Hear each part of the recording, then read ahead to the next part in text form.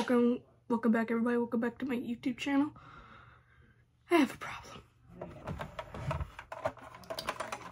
This right here is the GameCube. Right here is the Retron NES. You might be thinking, yes, I am going to start retro collecting.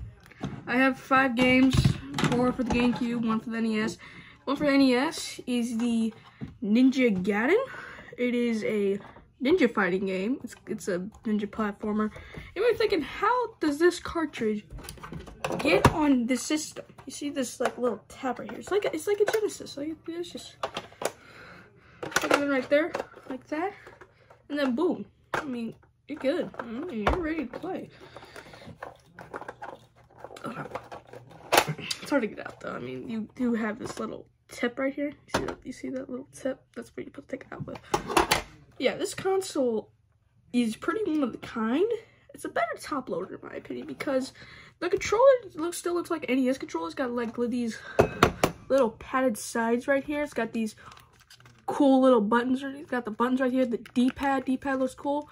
Start and select buttons kind of look the same. You know, I got wires on them. Yeah, you can see a little bit. They look the same. I mean, it's just, I mean, it's just the improved NES. It's a little smaller. Um, the hookup is AV cables, yellow and white, and the power is the uh, USB. Now, it doesn't it doesn't come with the USB block, but you probably got one hanging around somewhere. I know, I know, I have a lot of that. Um, yeah, and uh, this console cost me thirty. This console cost me thirty dollars at Second Charles.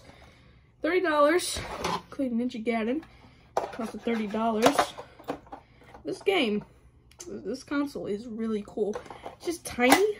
It's just pretty tiny, but it's still really cool. Alright, now you heard of it.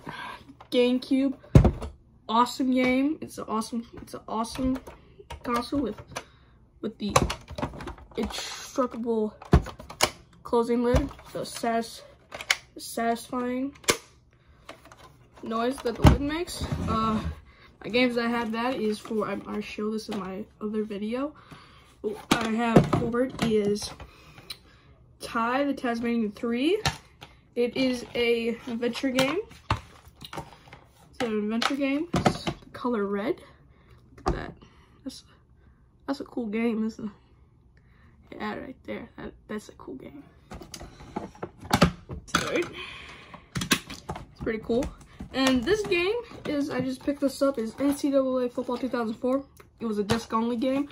It's it's a gray, it's a gray one. And um, it's pretty, it's pretty cool. Like that.